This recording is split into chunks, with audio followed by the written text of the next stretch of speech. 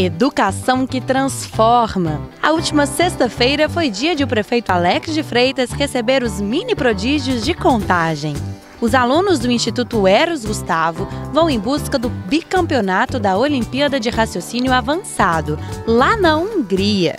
Além da competitividade, é o quanto a gente vem enriquecido com culturas diferentes. O que a gente traz e o que a gente procura para os nossos meninos é torná-los realmente verdadeiros, verdadeiros cidadãos conscientes. E teve também a visita dos meninos da Escola Municipal Newton Amaral Franco.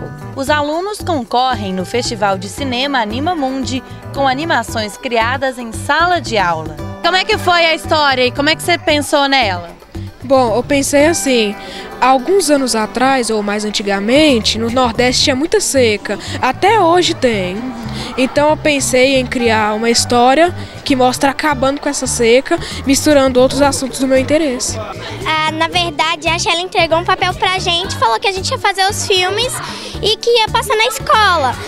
Aí eu fiquei pensando, porque eu tava sem ideia, e aí lá tem umas mesas decoradas. Aí eu vi a da Chapeuzinho Vermelho e tive a ideia. Orgulho que nem cabe no peito. Coração cheio de orgulho, muito feliz mesmo, muito emocionada, muito contente, assim, tô assim muito orgulhosa dele. Muita felicidade, né, satisfação e vendo que nós da sociedade, família, estamos cumprindo um papel, né? Eles são as estrelas.